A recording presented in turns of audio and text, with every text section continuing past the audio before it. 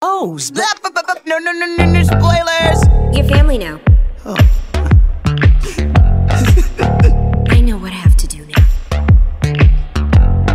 What the...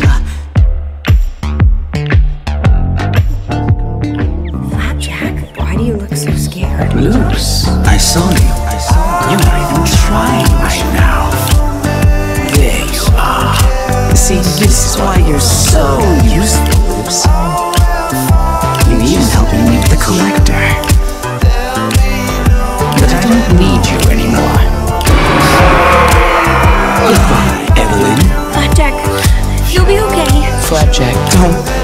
Don't. I already know.